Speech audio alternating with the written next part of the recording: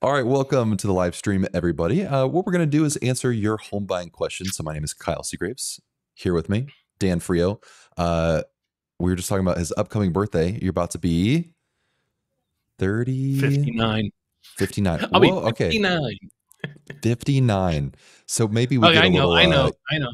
And I just talked some to your like dad. uh, birthday We'll cake emojis in the chat or something? and I just talked to your dad this morning, and we're the same age. So you know, no, no old jokes. no, never, never at all. Um, so what we're gonna do is we're gonna answer your home buying questions in here. So leave those in the chat and we'll pull them up.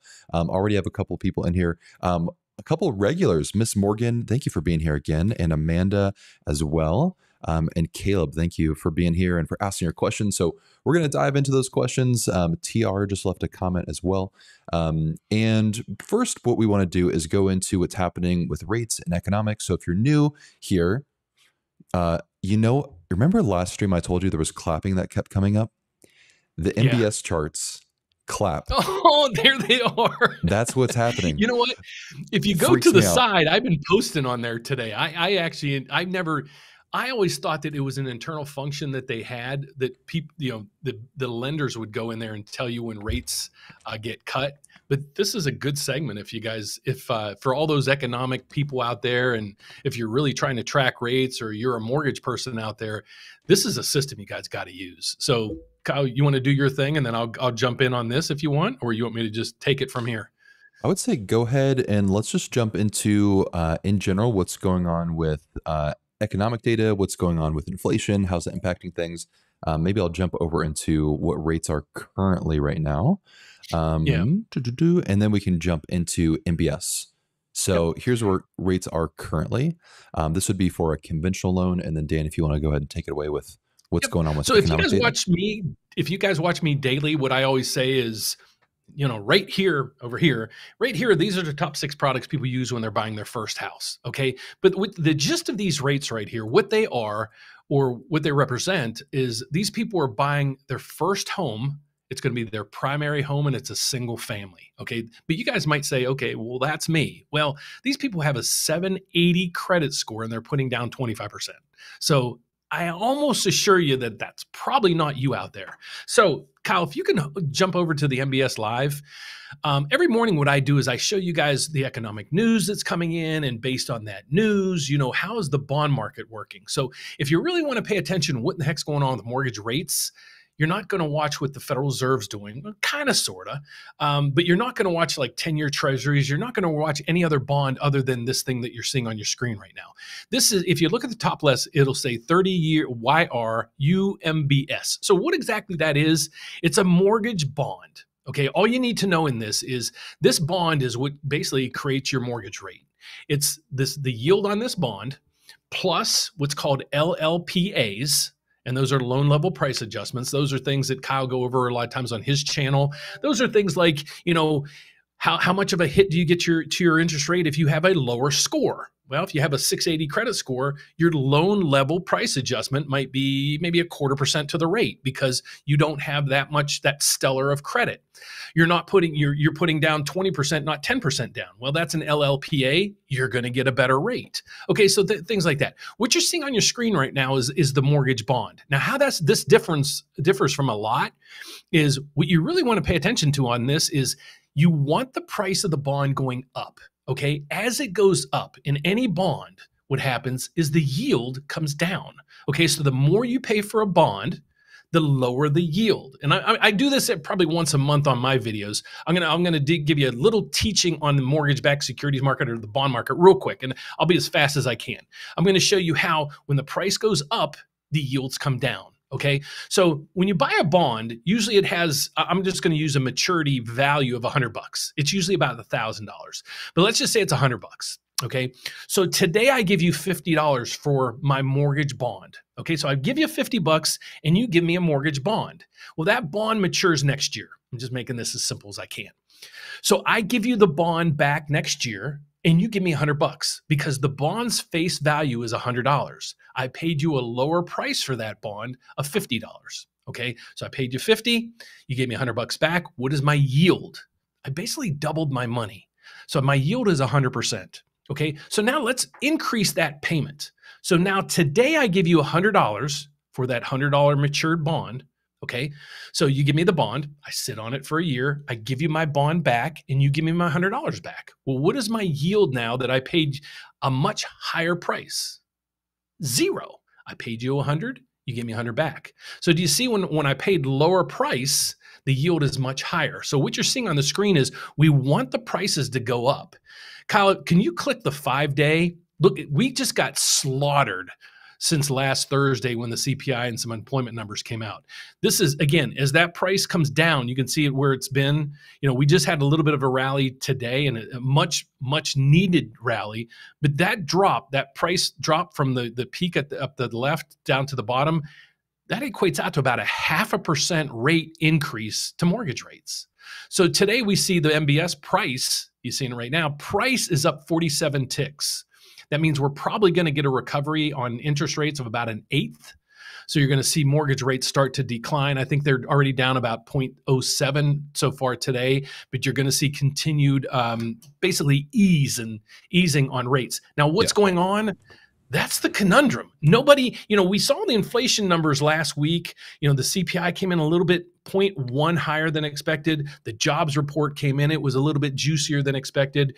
Now you have the Federal Reserve meeting, you know, all over the place, and they're saying, you know, our rate cuts are going to be probably further out there. So they're probably going to be coming soon. You know, who knows when? And I try, I, I try my darndest to help predict this, um, but you know, we just don't know when that date is going to come in. But I'm on the Federal Federal Reserve side. I'm like, don't reduce rates until you really squish out all this inflation.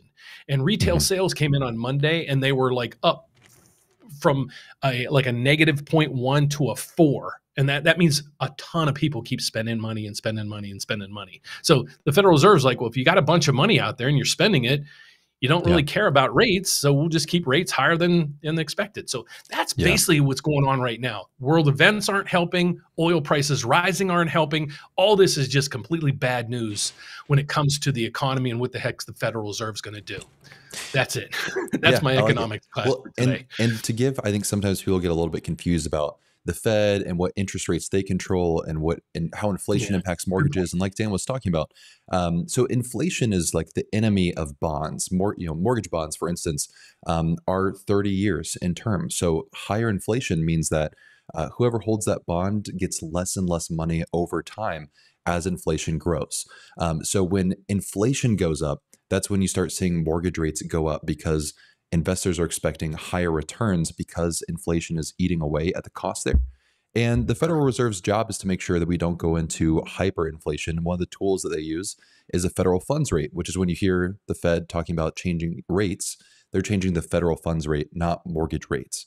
Um, and kind of what's happening with inflation is the Fed has bumped up rates pretty significantly. Um, and it's almost like uh, if the federal funds rate was like a brake on a car, the more they increase the rate, the harder they're pushing on the brake pedal. But what's happening is it's almost like the economy, if the economy is the car, they're pressing on the brake pedal harder and harder, and it's still not slowing down.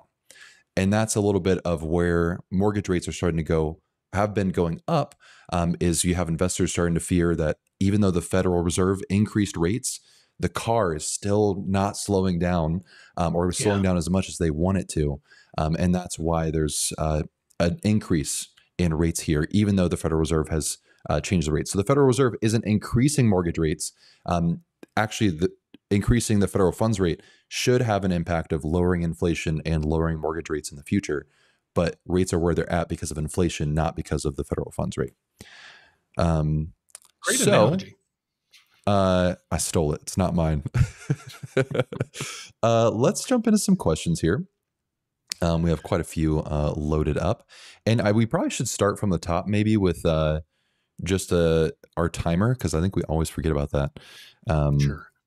And you know, I, apparently I'm the one who talks a lot.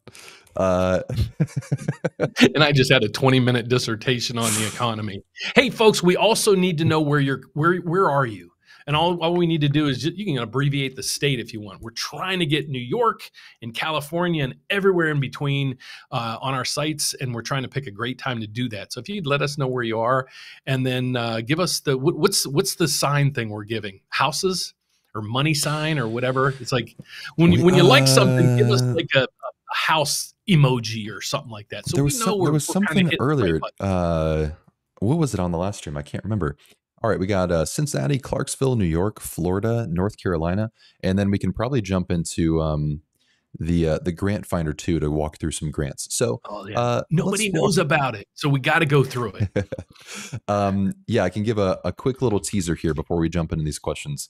Um, the uh, on the grant finder, let me just jump into some of the qualifying areas here. Let me enter in just some basic info. Um, so all of these areas, let me try to get all of them on the screen at once. Uh, just there. Um, all of these areas qualify for the grant finder. So we have three grants up to ten thousand dollars. So we'll walk through this uh, as well. And I cut you off. No, not at all. Um, sweet. All right, Miss Morgan uh, said, "Hey guys, can you go over the USDA loan and the GUS approval system at a 640 score? Um, would they need to dive deeper into that, or dive deeper into credit at that score?" So USDA does use an underwriting system called GUS. It's the Guaranteed Underwriting System. You really don't need to know that as a home buyer. It's something that we handle as loan officers. Um, to use GUS, you need a 640 score. Basically, USDA loans are easier um, you're going to get better rates if you have a 640 and higher score. If you have below a 640, then USDA requires a manual underwrite. And in that means you're going to expect a higher interest rate. The process is going to require more documentation. And also, you're not going to be able to get as big as a loan amount as you would with USDA uh, using GUS. So, manual underwrites can be difficult. Not a lot of lenders do them. 640 is the minimum for USDA uh, GUS. Um, I'm running out of time. Uh, so I would shoot for a 680 with USDA for the better chance of approval, um, but 640 can work. It just can be a little um, dicey at, at points. If you have a high debt to income ratio, for instance, 640 would be tough. It was close enough. Yeah, it was real good. Okay, I got to Um, ask this question, Amanda, before you go, because you're here on every event, and thank you. What do you do if you don't mind answering that? If, are you a realtor? Uh, because you come on every every week, and we love it. And we actually were talking about you before we went live. We saw you post a comment, and I'm like, I got to I don't mean to call you out, but I, I'd love to know what you do because you're here every week and you ask great questions. And you got like a, a nice professional headshot. yeah, Uh, yeah, it's nice. Uh, but you said I love being able to join these live Q and A's. Thanks so much for all the information you provide. Um, well, thank you, Amanda, for being here. We appreciate it. Uh, Amanda said uh, they're psychologist, first time homebuyer. Um, really fantastic. Uh, Caleb, what are your thoughts on as is home sales? Um, does this affect market value? Um, in other words, are they typically cheaper? Take it away. I I would say no. As is just means like they don't want to mess with anything. Like for example, my house. My house is probably 40 years old. There's probably some little things that need done. Do I want to mess with it if I'm when I'm go- going to sell my house? No, not really. I mean, if there was a huge issue when it came to the appraisal, they were really tagging me for something. Yeah, I'd fix it. Uh, but as is, most people are going to want to sell it as is because they don't want they don't want to do anything. They don't want to work on the house or do anything uh, minor to fix the property. Or it might be an as is property that means you can only pay cash for it because it's that bad of shape that they know it's not going to pass any criteria when it comes to loans. So it has to, you have to be really careful when it comes to that. But you know, do your due, dil- di- due diligence, check the house, go through it thoroughly. If you're going to go buy it, you know, make sure you get an inspection done, not an appraisal, but an inspection, and then make your decision on what you're going to do from there. I gave you a little bit of seconds. extra. Well, I gave you a little bit of extra time. Okay. I I had to reset going it. to add accidentally. 25 seconds on my end. Okay. Okay, I'll- down. we'll have our little counters going. Um, TR said, uh, "Hi, gentlemen. Thank you for doing this. Do you see many situations where the buyer has to increase their down payment uh, three to five percent to be competitive in a multiple offer situation?" Um, yeah, from three to five percent, maybe not as much. I think what is is going to sway things. Hold on. We, we didn't go mute, folks. He's got to wait about 10 second, seconds so he doesn't, you know, take up all the time. you got to be fair here.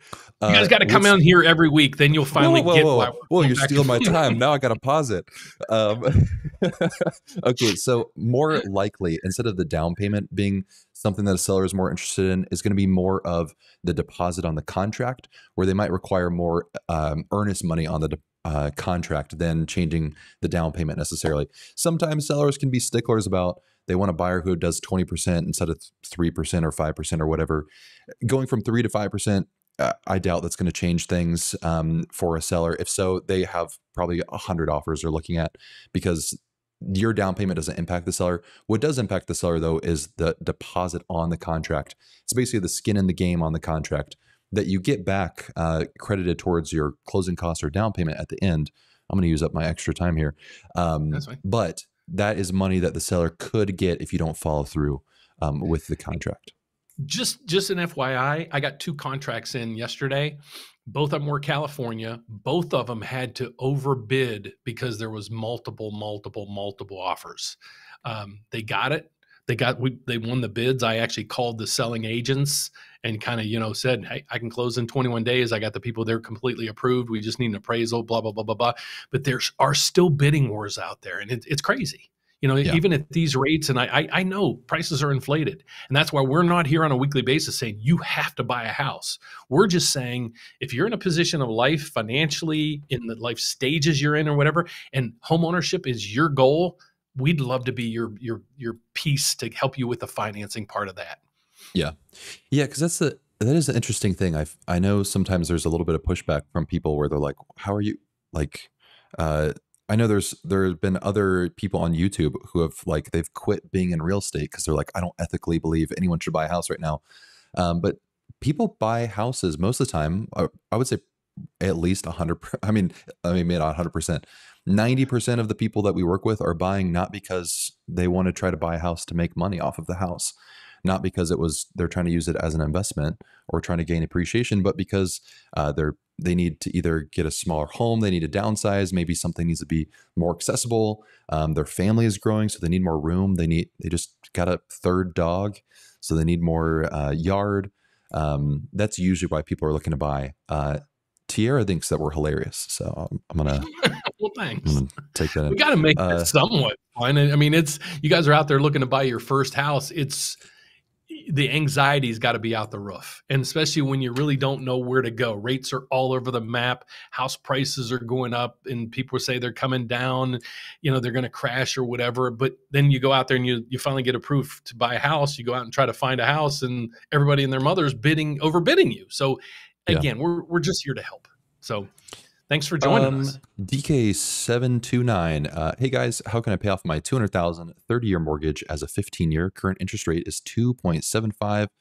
Um, love the show. So it's really pretty easy. Um, what you would do is you can just uh, go to any mortgage calculator um, and take put in 200,000, put in your rate, put in 30 years, and then change that to 15 years, and it's going to show you the payment.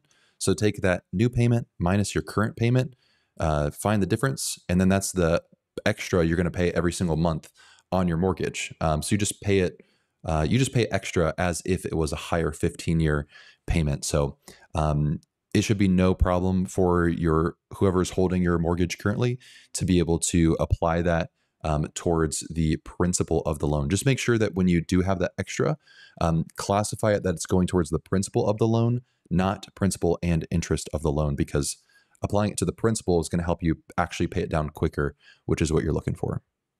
also one more step to validate that is when you get your statements each month go back and make sure that extra payment that you sent in was applied to principal it just didn't go into your escrow i did that years ago when i was much younger i started paying an extra two three four hundred bucks a month after about a year i got a refund check back saying my escrow was too high and i'm like i didn't want it going to escrow um, but Hmm. I, I had a newborn at the time so i could i could use that two grand that came back to me Yeah. Uh, Amanda said, recently learned that many buyers are waiving their inspection to make their offer more attractive. Um, this blows my mind. Can you share your thoughts on this? Yes. Unfortunately, this is not new. This has been going on. Well, it's been an option for people for a long time, but this even started happening in the beginning of kind of the COVID surge around housing, where people were putting, you know, up against tons of other buyers. And to make their offer more attractive to a seller, they basically said, I'm not going to have a home inspector come in. We'll basically purchase the home as is. I think it's crazy. We would never recommend doing this. I don't even know if like legally it's something that we could recommend without there being repercussions to it. Um, it's just it's really terrible advice for anyone who's supposed to have like fiduciary responsibility um, as a real estate professional. So I think it's a terrible situation unless you personally are an inspector. Um, or maybe you have a friend who walked through the house with you and you're very confident and you have a large amount of cash um, to be able to make repairs if needed. Maybe um, but for most people, 80% of people, I would not recommend waiving inspections um, to make your offer more attractive. No, not at all. Um, again, unless you have a ton of cash, because it's just stuff that can come. You might be able to get the house, uh, but if something goes wrong, do you have ten thousand uh, dollars to be able to make that fix happen? Um, we just don't want you getting into debt uh, after you move into a house to pay for emergencies. Um, once you get qualified and approved with an estimate, how long will that offer last? Usually it depends on the loan type, but usually 90 to 120 days. It depends on which loan type. And basically, the only thing that would expire is your credit report. Um, or if you change jobs or got a pay raise or whatever, that would change. But the only thing is, we would just have to refresh your credit score and uh, kind of go from there. So, no, no big deal. If you got pre approved and you didn't really change your lifestyle or bills or anything, you'll be good to go. Uh, let's see.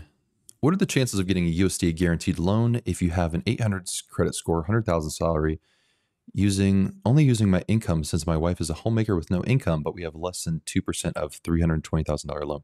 Um, I mean, that sounds like a very uh, easy USDA scenario, except for the salary piece. Um, you like how I didn't uh, yeah sometimes I forget when well I jump into it and I forget to press the button over here. Um, so don't worry, we'll, we'll, we'll, I'll even it out for you. Um, so USDA does have an income limit, and it's dependent on the county that you're looking in. Um, there are not a lot of counties that I've seen that go above $100,000. Uh, usually, uh, the majority of counties tend to be around the eighty to ninety thousand dollar range. So it's possible that maybe when we look analyze your income, we might use less uh, than hundred thousand dollars, depending on maybe some averages. Depends what type of income you have. Um, but what I would do is go to USDA eligibility's uh, site. So you can just Google USDA uh, income eligibility, and then from there you can look up all of the counties and what their income limits are. So that might help you um, figure out. Everything else is good. Yes. This might be a good segment because at the bottom of that, he says that one of the main reasons why they're looking at it is because they have 2%, uh, less than 2% of the purchase price uh, in, in assets. So here's, here's a good, great segue into our uh, grant finder. Kyle worked his Look at butt you. off. You're, you're so right. That is a good segue. Um, yeah, let's do that. So, okay. So uh, if you go to winthehouseyoulove.com right here, um, and by the way, you can also get uh, pre-qualified with us. You can schedule a call um, with a mortgage advisor on our team. You'll be connected with either Dan, there he is, uh, Alan Platt, or David Pies on our team. Um, all of them have over 20 years of experience each. Um, so you're in good hands uh, when you schedule a call with us. So uh, you can go to Tools and then Grant Finder. And so in here, it's going to ask a couple questions um, to help you see if you can qualify for one of the grants that we have. Uh, so I'm going to say we're just looking at buying with me. Actually, no, well, let's run this scenario here. Um, so I'm going to have to make quite a few assumptions in here, um, but you'll have someone on the loan with you. So you said 800 plus credit. So what also is included is we would include uh, your wife's credit score as well um, if you're wanting her to be on the loan with you. So um, let's just say they're similar. Um, are either one of you a first time homebuyer? We're going to say yes. And then from here, will it all fit? There we go. Um, you have two of the grants uh, are based on where you currently live, not where you're looking to buy, where you currently live. And these are all the areas that qualify here. Now, just a quick uh, disclaimer here just because you live in the city doesn't immediately mean that you qualify. It has to be verified with what's called a GeoID. So I'll explain that here in a second. So if you live in one of these general areas, um, we're going to say yes or no. So we're going to say yes here because I don't see anything about where they currently live. So then what you'll do is you verify the census tract. Um, Dan, do you have an address on hand that we could do an example with, or maybe I should have grabbed that before we uh, we Just- did it. And if not, I can just pull in a GeoID. Yeah, just pull in a geo. I, I don't have anything Okay. on the top of my head. I can grab. Um, here's one that somebody was looking to buy. I hate to do So- this, but uh, go Uh, no, let's not do that. Let's not do. Uh, yep, I want to do that. I the only reason, so the only hesitation we have around here is I don't want to put people's addresses Yeah. uh, on you know on here. So what we've been doing is trying to go to Zillow and find homes for sale, and it, it's just kind of hard to put people's addresses on screen without me feeling like someone's going to get doxxed completely. Um, so basically, this can feel a little overwhelming. You just follow the one, two, three steps. So you go to this website and enter your current address, and then you're gonna there's gonna be a ton of different headings. You find the one that says census tracts, and right beneath that, it's gonna say GeoID. So I'm going to enter in one uh, that we use as a demo, but yours is going to be different depending on where you currently live. Um, so from here, uh, oh, I also do have this thing. You can just click here to email me your current address, and I can also look up the GeoID for you. I forgot that I added in that in there. Um, so if you don't want to go through these steps, just click here uh, and then type in your address to me. That way, I can look up uh, your GeoID. So uh, you said a hundred thousand salary. Um, you said your wife does not have an income, so we're going to put zero here. Uh, then we don't have a place that they're looking in yet. Let's say that they're looking in. Oh, let's say they're looking around. Uh, what do you think is a good county to look in? Cook, Cook County, that's Chicago. Cook. Sweet. Okay. We also have in here um, all the county limits in Illinois, so we can see uh, 100,000 is going to be above the top income limit. So it's going to disqualify one of the grants, which I'll show you here in a second. And then let's say we're looking at, uh, let's see, they said 320. Okay. So let's scroll down here. So it then shows us the grants that match our profile. Um, trying to get this all on screen. So three grants, one plus. We don't. This situation doesn't qualify because the income is too high. Like I just explained, there were no counties where hundred thousand dollars would work um, in this situation. However, there's Purchase Plus, which is five thousand two hundred and fifty dollars, or Home Ready First, which is ten thousand dollars. So um, what we can do is scroll down here and look at a cost estimate comparison. So we're only looking at these two grants that we have. The cost before the grant, um, if we consider seller credits, which we talked about a little bit earlier. Did we talk about that earlier in the stream? No, that was last week. um, so seller credits basically is where you go to the seller and say, "Hey, we'd like to purchase this home." You negotiate and say, "Could you give us a percentage of the, the purchase price towards our closing costs?" So this is a really great way to help reduce the upfront cost of buying a home, um, but it is something that has to be negotiated when you're looking at buying the house. So uh, two percent is probably one to two percent is probably a good, I would say, average. Uh, would that be fair to say, Dan? Yeah, usually it's about five or six thousand. So if we look at before the grant, we would have the down payment of three percent, and I see that's a little it's a little small, isn't it? That might be a little bit better to see. Um, that's nice. you have the down payment here. We have closing cost estimates. So this is pulling in things like title insurance, property taxes, homeowners insurance. This is not just like what we charge as a lender. Um, these are all the costs that you're going to have with buying a home, really, no matter what lender you work with. So then with seller credits, that then is applied here. So the total before the grant would be around $13,000 to buy a home. Um, now, uh, they were talking about having less than 2% of a $320,000 loan. So we're looking at around 6,400 as kind of our target that we want to get to. So Purchase Plus would have a $5,250 grant and then up to a $500 appraisal credit, which would bring the total due at closing to just shy of $7,400. Home Ready First is that $10,000 credit, a $500 up to a $500 appraisal credit, and up to a $500 home warranty credit, bringing the cash due closing down to $2,100. So, Dan, like you were mentioning, we kind of jumped into this because um, this person was looking at USDA initially to try to get the low down payment. Is conventional loans with these grants can really get you quite a bit uh, or really lower the upfront cost of being able to get into a conventional loan. Um, even if I'm curious to see if we pulled back the seller credit number, even if we brought the seller credit back to uh, just right there, uh, this would still be within kind of that target of the $6,400 that they were looking for.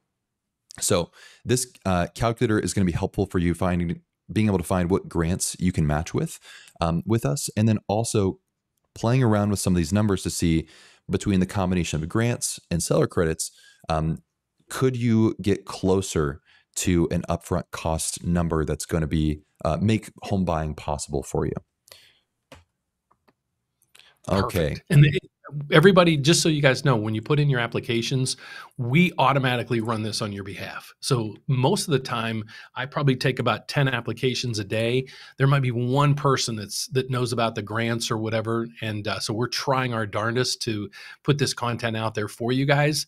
There's one bank in the whole country that i know of that's offering this program and we're set up with them. So if you talk to your realtor or your other mortgage company and they're like oh that doesn't exist i lost three borrowers because their lender and their realtors all said that this this these programs does do not exist, and uh, you know that too bad for them because they just lost out on both of them qualified for the ten thousand dollar grant.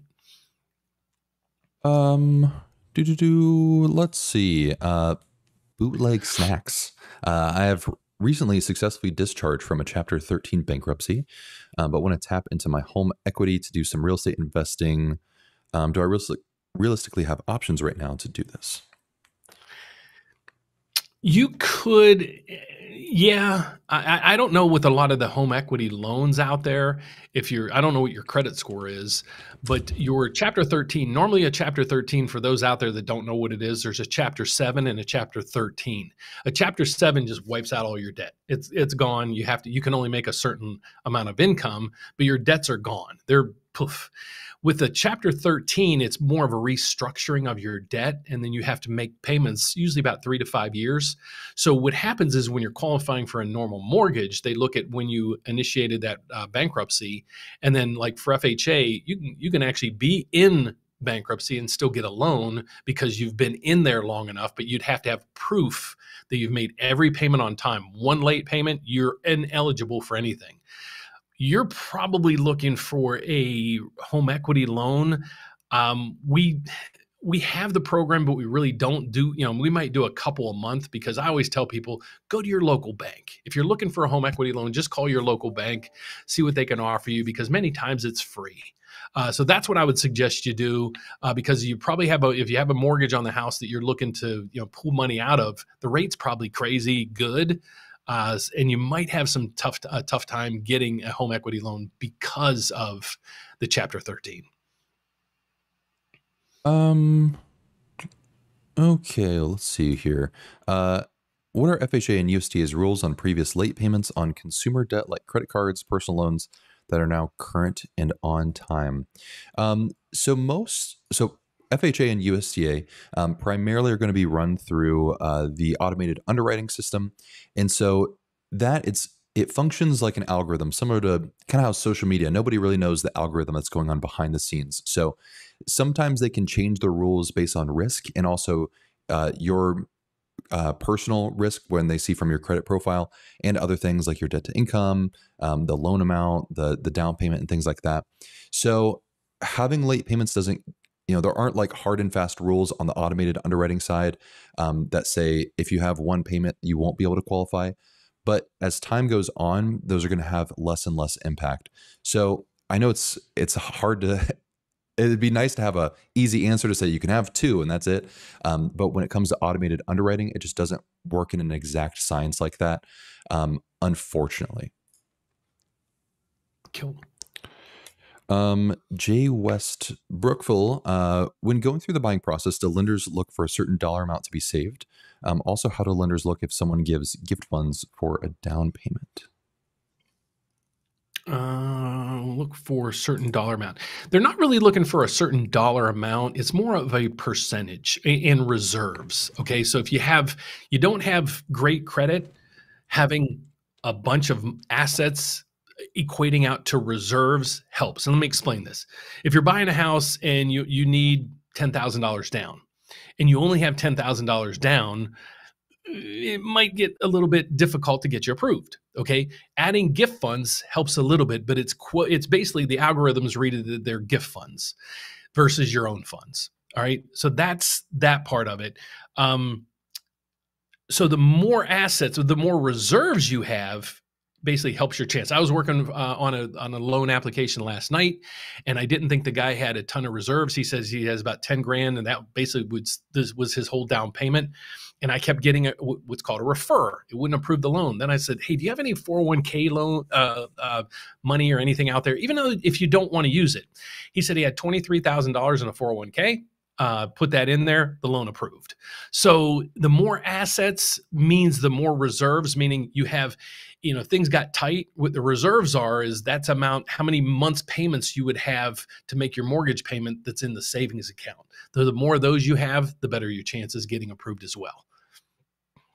Um, Abby Jean, can we get the late payments resolved by asking for goodwill faith? Uh, you could try. Um, I could almost guarantee that there, if it's a real late payment, then it's not going to get removed by good faith. Um, the cr- the creditor really has no benefit of doing that for themselves. Um, so I've never heard of that happening, but it's something you could do. Um, the, really, the only thing with late payments that you're going to be looking at is if it was an error, uh, then you can get that disputed. But if it was a true late payment, it's very likely that the creditor isn't going to um, change that to being paid on time. Uh, Inma said, Hello, I'm self employed and don't have tax returns. Um, I was told at all? Uh, I was told I can do a VOE loan. Oh, uh, do you offer that and what are the downsides for it? Um, well, a VOE loan can't be done if you're self employed because they would be calling a v, like a verification of employment is where we would be talking with a um, an employer about verifying your income. Um, but if you are the employer, it'd be like if I called Dan and said, "How much do you make?"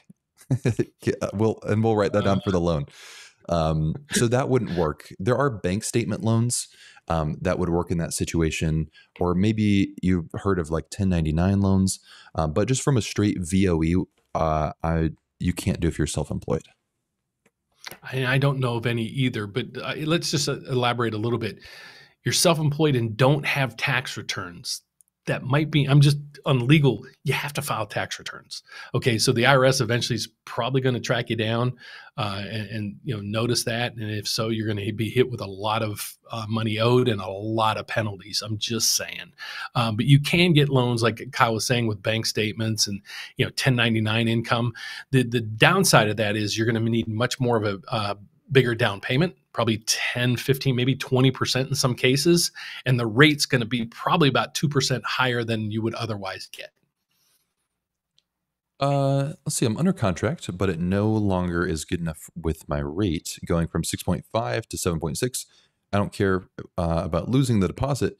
Do you recommend going to the builder to ask for a better incentive?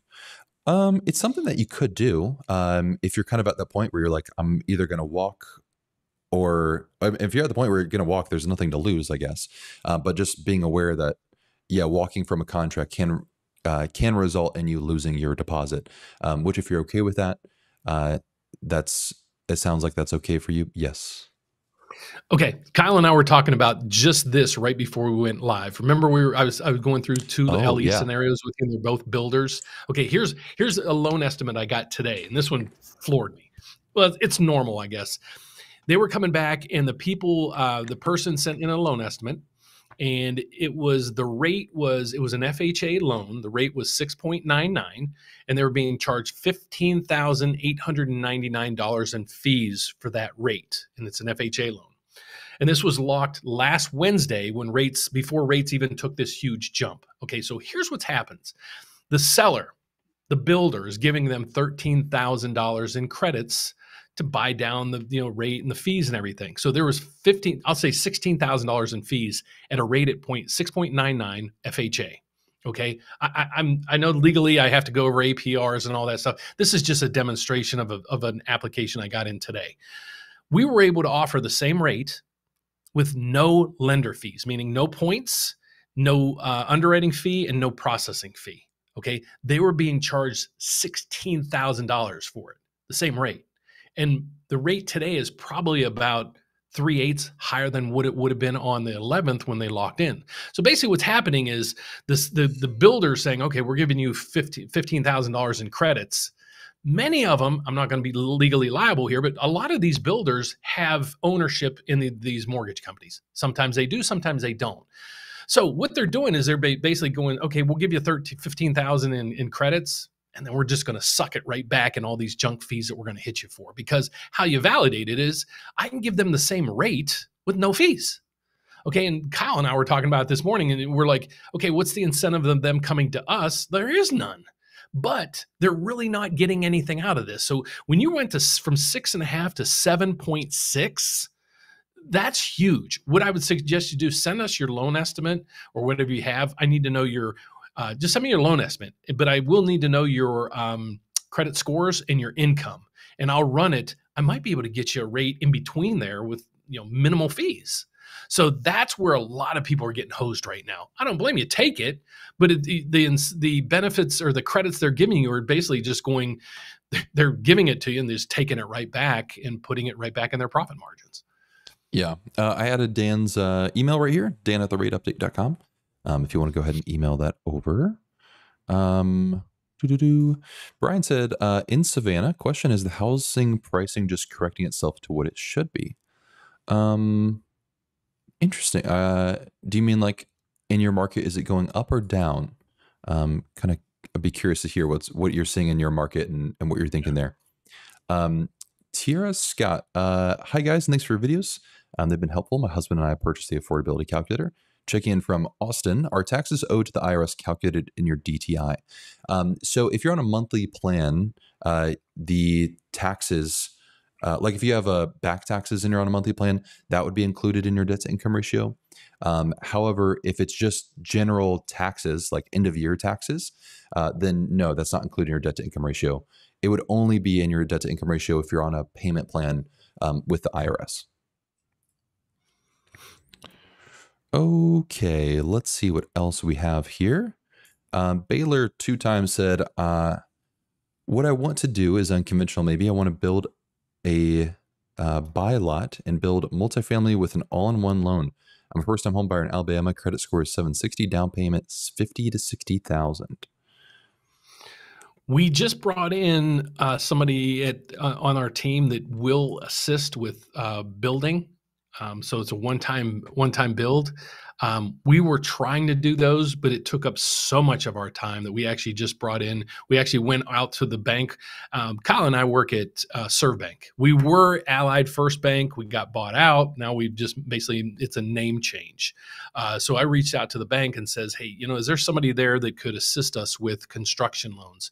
So we do have a young lady helping us with those. Uh, so if you do want to reach out to us, shoot me an email. Give me the, some of the criteria. I'll send it over to the young lady, and then uh, sync you two up and make sure you're being taken care of. Uh, so that, that's one area that we're we're trying to get out of. It's it, it is so time consuming, but um, you know if you are constructing homes, we at least want to be you know be able to offer you something. But yeah, just uh, shoot me an email and I'll, I'll hook you up with the girl on our end who uh, can handle construction loans. Uh, KJ said, "Can you please explain how buying down rate works and what's the typical cost? Um, example would be great to go over based on recent rates and pricing. Um, you may pull up Loansifter. Do you have the the calculator, the two one buy down calculator, or anything? I can see. Um, yeah, but were they talking about uh, permanent or temporary, or maybe we just go over both? How buy down rate works. Oh wait, apparently I have your password changed since the last time I logged in here. Um, so we can cover, maybe we can just do a highlight of both. Um, so when buying down the rate, um, there's two different types of ways that this can happen. Uh, there's a permanent buy down. So this is where you pay upfront money um, to buy down the rate for the entire loan. Uh, you know, if it's 30 years, it's bought down for 30 years.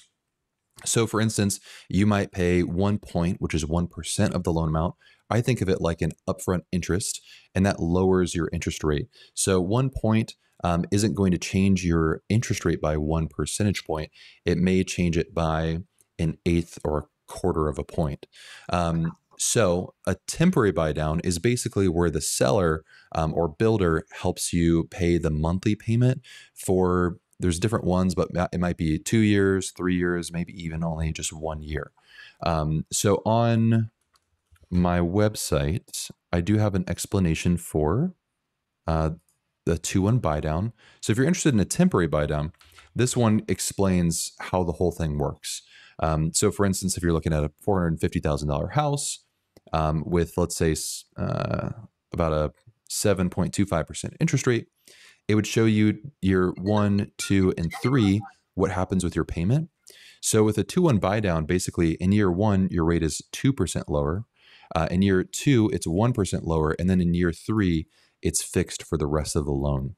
And so this whole thing, I won't go into all the details here, but it will show you exactly how much you need um, from the seller or the builder to help you with this, what happens when you refinance, and whole uh, breakdown here. Fantastic. Um, do do do do do. Let's see what other questions we have. Uh, Triple Uno said uh, we removed our loan contingency because we thought the loan was for sure. Um, the condo HOA questionnaire came back with critical repairs, so our loan would be denied. Uh, chances seller gives us our earnest money back. Um, I the chances question when people ask about what are my chances of something, it's always a very tough question to answer because I I know people want an answer, but it's not helpful for me to be like thirty percent. Um, really, we, you probably more want solutions than you want chances. Uh, your solution here is if you're working with a real estate agent, this is their job. Um, I believe the primary job of a real estate agent is not to show you a house, but really to help you find exits to your contract to help save your money and save you uh, legally um, if you need to exit a contract. This is exactly what a real estate agent is supposed to do. If your real estate agent doesn't know how to help you with this, um, have them take it up with their uh, broker um, to help you figure this out. Because if you can't get out on the financing contingency, um, then there may be some other contingency that you can find in that contract. A good real estate agent is going to help you um, structure exits in the contract via contingencies to make sure that you have as many exits as possible. Um, but if you waived your financing contingency, there's really no way to get it back. Um, the and I feel like if you have an agent, they shouldn't have told you to remove a loan contingency to begin with, especially if it's uh, a deal that's already uh, been negotiated to begin with. I don't see the advantage in that necessarily. Um, you may be able to. Some contracts do have a period of time where you can actually review uh, the HOA bylaws, and that may be an option where you can come back and say, "We reviewed the HOA and its financials, and even though the loan contingency isn't something we can get out on, you may be able to have some sort of contingency with the HO or in your contract with reviewing HOA docs and saying, "Hey, the HOA was mismanaged, and that's what how we're going to get out of the contract." Usually, that's only like a few days after you receive HOA docs, though. So, um, I know it's a little bit of a broad answer, but this is exactly what your real estate agent is for, and helping you understand uh, what your options are here.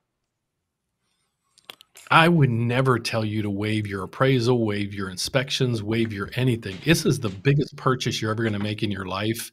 You know, be careful, is all I got to say. Yeah, th- those contingencies are all designed to protect you, um, and the only people who should be waiving those are people who have large sums of cash and are willing to spend it. Um, at least in my opinion. And you see a lot of those videos and those things where you know people are just like they're devastated because I bought a house and now I hate it and this and that. If you take a deep dive into it, most of the times they they they flawed in several different areas that they did. Um, a- and, then you look back to it and say, why did you do that? And then why did you do that? No wonder this is where you're at, and it could even be that much worse. Mhm. So yeah, be careful with all these things. Be do do your due diligence on everything to make sure you're in a good position. guess who's in here? Dylan Who's Bly. What's up? What up? Uh, Anthony, uh, I see a great first time homeowner forgivable loan here in Minnesota that I'm interested in. If my wife and I make more than the income limit combined, can we simply use one income source to qualify? Um, yes, as long as you can qualify for the loan, you uh, can be, and that puts you under the income limit. Um, that's something that you can do with most programs. Um, do do do do do. Jonathan, um, okay, so for questions like this, I have a calculator that helps you do that. It's called the Loan Clarity Advisor. There's a link in the description to it. Um, you can compare all different types of loans and scenarios, and it shows you which one is better. Um, and so that may be a, uh, a good option there for you. Uh, Jay said, the more that I pay off my house, meaning year after year, eventually will the payment go down the less that I owe?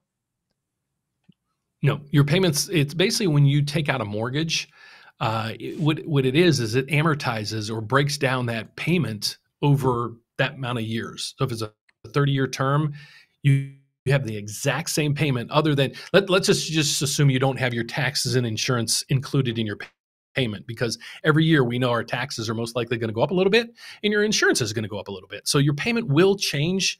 But let's just say if you have a principal and interest payment only, that payment will never change until the last payment is due. And then the last payment will be basically just be the balance owed on that loan. So no, yep. your payment will never change all the way through the term of the loan. Yeah. You could do a recast. Um, usually, do you know what the recast minimum is? Uh, I, want to say it's usually around a couple thousand dollars.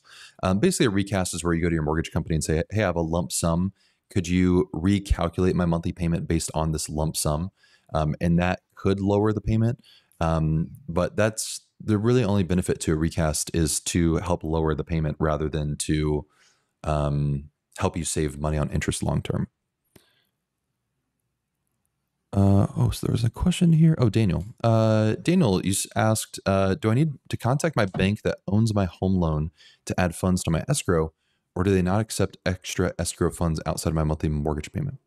Um, you only would need to add money to your escrow account if they if there's an escrow shortage. So, at the end of uh, every year, your lender um, or whoever's servicing your home loan is going to do an escrow analysis. Basically, after they paid for your taxes and homeowners insurance, they're going to see how much money is left in the account and if they need any more. And if there's a shortage, they'll come to you and say, "Hey, we're short by five hundred dollars." Um, and what they may do is say, "You can either pay that now to make up the difference, or uh, you can pay us. You know, we'll increase your monthly payment by X amount per month." To make up for that shortage. So there's really never a situation in where you need to add extra funds just because you want to to the escrow account. If you're going to add extra into your mortgage, you just want it to be applied towards uh, the principal and not your uh, escrow account. Um, JC, local realtor is pressing us to buy right now uh, before the rates come down and refinance later. Um, so uh, you want to touch on that first, and then we can touch on the refinance. Yeah, yeah. So let, us dissect this because this is a huge question. Okay, so I'm going to read it in detail, and I'll emphasize the areas I want to emphasize, and we'll talk about it. So local realtor is pressing to buy now before rates come down and refinance later. Is it expensive to refinance, or at, at very least delays significant equity gains on the property? So don't try to buy a house that you can afford now don't assume that you know in six months or a year or whatever the rate's going to come down. If it comes down kudos. It's going to only save you money. But what i want you to do is focus in on can you afford it now? Is the payments affordable to you now? Don't you know that's what i want you to the main focus in us. So now what happens if and when rates come down Okay, so let's give you some timing behind things. If you have a conventional loan, you could basically refinance the next day. Okay, what I some people that are doing the builder loans, they're like, okay, my my builder's in phase three now, and I I put in on phase two. So phase three houses are already fifty thousand dollars more, my same house, because now they're in phase three. So they ask us a question. So you know, what should we do? Should we use the our builder's lender or whatever? I'm like, yes, take all their free money you can get buy or buy the house and then call us the next day and refinance. Okay, the refinancing is a fraction of the costs because when you're buying a house, all this title work needs done, all the legal all the legal paperwork has to be put into your name and recordings and all this. So you're probably looking at five to ten thousand dollars when you're buying a home you know throughout the United States. When you're refinancing, that cost is probably about a thousand to fifteen hundred bucks. Okay, and you're going to skip a mortgage payment. So that mortgage payment you're going to skip is basically equivalent to or more than your cost would be anyways. That's what I would highly suggest. Don't buy right now. And the assumption is, well, in six months, the Federal Reserve is going to reduce rates, and my yeah. my payments will go down. I don't want you in that spot because you know you're going to be struggling like heck for six months, and then if rates don't come down, now where are you? So please yeah. don't don't rush into this. It's the biggest purchase you're ever going to make in your life. Uh, yeah. Uh, so be careful is all I got to say. Um, do do do. Let us see what else we have. Uh oh, Inma, to your question, you said too many write offs, so it's lower than I would qualify for. I was told they only use my pay stub and bank statements. It sounds like maybe you're you're self you have a self-employed business and also you are employed. Um, so if that's the case, because I know your other comment said you're self-employed, um, and and maybe I'm misunderstanding, but uh, if you're in the situation where you are employed and also you have maybe a side business or maybe you do some gig work, um, the self-employed portion is going to be uh, analyzed separately from your W two pay because the self-employed por- portion um, we're going to be looking at effectively your net income of the business, um, not just gross income. So if you write off a lot of expenses from your self employed uh, income, then that's going to lower the amount of self employed income that we can use. Um, but there's no write offs on the personal side. If you're just like a W 2 employee, um, then there's no write offs that you would do that uh, we really take a look at on the W 2 side. Um, to remove someone on the loan is my only option to refinance. Uh, yes, um, lenders aren't really willing to just let somebody off of a loan. Um, it really the only other option is to uh, to refinance. Um, cool, cool, cool. So we are. Can uh, you do one last one? And I'd like sure to see can. the KJ. KJ, great stuff. Is this the one? Oh, no, wait, no, keep going. Okay, here we go. This one. Okay, this is this is what we see I, I, I, see this probably 10 times a day, and I'm not exaggerating. Builders offering 3% discount uh, for purchase price to use their mortgage option. Is it worth it or should use it? Use it. 3%. I don't know what your purchase price is. Even if it's 200 grand at $6,000, use it. And then right after there, you know, depending on the rate and everything, send me your loan estimate. Actually, we're working on it right now. Actually, Kyle, it's another one that I throw on the Kyle's pile. We're trying to compile. You guys give us a thumbs up if you if you'd like this uh, added to our websites. Once you close on a loan, uh, we just talked about refinancing. It's not it's not that hard. It's not that expensive.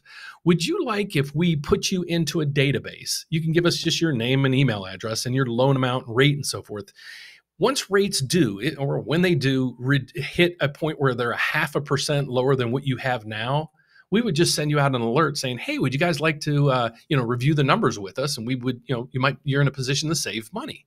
And so every half a percent the rate drops, you'll just get triggered a little alert saying, "Hey, would you like to just look at the numbers?" So if you guys would give us a thumbs up or thumbs down if you think that would be handy. Uh, most of the people that I talk to on a daily basis that gives us these questions, I answer exactly that take it. Take the builder's loan. I make money by closing your loans, but I don't I want you to be in the best best position you can be. So I'm not going to put you in a worse position financially just to do your loan. That's not how we operate. Uh, so take the loan, send us your information, and then when rates hit, you know, a half a percent or a full percent below where you're at at this point, we'll just alert you saying, "Hey, give us a call if you're interested in looking at the numbers." So would you guys like that, or would you not like that? Give me give me the kudos out there. But that's that's what we see on a daily basis. These builders are putting out all these incentives, and many of them are just giving you the same rate that you we would get you otherwise. It's just them recapturing the money. But just take their loans. I mean, seriously. I hate to say it that way, but yeah. Uh, do loan brokers officer officers make a commission on points purchased? No. Um, so loan officers uh, of all kinds with everywhere um, cannot make any extra money on points um, and cannot make any extra money on the type of loan that's being used. Like you, uh, a loan officer can't get paid for a, more for an FHA loan versus a conventional loan or something like that. Um, that would be uh, steering and is super uh, illegal. So no, that that can't happen. What's happening when a lot of loan officers are putting, um, they're showing borrowers quotes with a lot of points because they know that most people are just looking at the interest rate and not the upfront costs. Um, and what people are kind of doing is they're like, look at the low interest rate I got, but it's like the, what we Dan was talking about. Yeah, but you paid fifteen thousand dollars for it. Odds are, uh, you may find a lower rate to be able to refinance in before you uh, break even on the amount of money that you paid um, for that. And so, what we've been finding over the past couple of years as rates has got have gone up, is loan officers add a bunch of points to give you that lower rate rate because when you're looking at other lenders, they want to seem like they have the lowest rate possible. Um, you know, for instance, if you go to, uh, let me think about this. Can I show this example without getting sued? Um, think about uh, there's careful. a big there's a big uh, lender that you're probably familiar with that has lots of commercials. Um, and if you go to their rate section on their website, in little fine details, you see mm-hmm. that you're paying two points. Um, okay, that's 2% of your loan amount. So if you have a $300,000 loan amount, they're immediately assuming that you're paying $6,000 in fees just for the interest rate that they're showing you. And so it's kind of this little like you go to their website and say, oh, wow, they have such a better rate than everybody else. But everyone else would have the same rate if you ask them to charge you the same amount of money. Um, so it's really not a super fair comparison. Um, so, dude, that was right on the money. That was right on the money. I get it all the time. Once we lock people in, they're like, "Hey, well, this other place is showing that the you know the rates you know two nine nine, and I'm like, it can't be two nine nine. It doesn't even exist. And then they send me the thing, and I'm like, see that where you can't see it down at the bottom. Blow that up. Take a picture of your, on your phone. Blow it up, and you'll see what I'm talking about. They're charging you a ton of fees. So, you know, most people are strapped right now just to make the down payment and your monthly payments. You know, try to save that money where you can. Yeah. Um, okay, let's see. Uh, one last thing here is ZL said, I bet no one uh, thought uh, we would be near 8% at this point. If consumer spending doesn't stop and inflation continues to soar, isn't 9% rates within the realm of possibility? And then to add on to that, uh, Dylan said, Is inflation data worrying you a bit, Dan? Um, do you think there's a possibility the Fed raises rate even higher? Yeah. So I I don't I, I honestly and a lot of people just give me flack on my channel on a daily basis like dan you told us rates are coming down or whatever i'm you have the federal reserve here, here's how i'll pronounce it you have people on wall street that make billions. You have federal reserve members. They are even telling us you know rate, inflation's coming down. We're going to cut rates. Even the fed said that they're going to cut rates three times this year. Now that data is starting to back off quite back off quite a bit. I'm even in the camp now. You have to analyze the data Okay, so you can't just, you know, you can't say eight months ago, well, in May 1st, it's going to be sunny because it normally is sunny. Well, we don't know until May 1st comes. It might rain, but historically, May 1st has always been sunny. So that's what we try to do. We try to take all the data that we're getting, but what's really messing things up is, is like over the weekend, you had Iran bombing Israel. And I'm not going to get political, but that was going to have a huge impact on oil. And there was uh, the good thing is it didn't wasn't as catastrophic as it we thought it was going to be. They were thinking oil prices might go to 100 bucks a barrel. The oil's in everything, folks. So if you have that happening, you're going to have, you know, things happening in the markets. You also have immigration. I'm not going to get political, but you have even illegal immigration. They're even saying that's been in the tune of since COVID, we've probably had 10 million people come into the country illegally. Well, those people aren't just you know sleeping on the sidewalks those people are looking for places to live and places to work okay? So that's adding to our workforce. So when you see the jobs numbers going way up you have to really concentrate where is the jobs coming from? You know a lot of the jobs are in the service area okay? Covid everything stopped. All the hospitality everything stopped. So people you know maybe some people went back to another country um, or just didn't work for a while. Now you have a lot of people coming into it, and a lot of the immigrants take these service jobs. So if you really look at the jobs numbers, wages aren't really going up, and everybody's saying, well, wage growth isn't there to help you know offset the price of of homes. Well, what jobs are being created in the servicing and the hospitality section? So there's it's there's a huge disconnect right now in the markets. We've never seen an economy like ourselves that pumped in so much money into the economy over a bad time. Now trying to suck out that money uh, because you know people were flush with money, and I've shown it to everybody you know a hundred times on my videos, showing you that in 2020 and 2021, people had the most money ever in history ever in history in their bank accounts and they were spending it and cause and we had supply chain issues and everything just spiked up uh, the prices of everything but now you have consumers continuing to spend at these high prices they're complaining about it but nobody's slowing down. So as a as a shop owner if i'm selling stuff i'm like why do i got to cut my prices? Uh, people are buying out you know buying all, my, all the products on my shelf anyways. So i'll just keep them at higher profit margins that's what you're seeing. Then you're seeing insurance. Insurance is nuts. My mom's, I just had to uh, insure, uh, get my mom's house insured. The premium doubled since last year, and she's on fixed income. So you have a multitude of things coming out that there is no, you know, I can't really say if it was a normal market, I'd say, well, let's look at the 10 year treasury, which is at 4.6. We're going to add historically 1.5 to that, which would give us 5, 6% interest rates. That's what the mortgage rate should be. And that's historically. Where is it today? Seven and a half. So there's a huge disconnect. And there's a whole bunch of things that's causing that. And the, the Federal Reserve is monitoring. And I, I agree with what they're doing. They're saying, okay, we don't need to lower rates because people continue to buy and buy and buy. They want to feel the pain. They want you to feel the pain when you're buying stuff to say, I'm not going to buy it. And they need people to stop buying and the prices to come down. So there's, you know, that's good. That is called, you know, that's bringing down inflation.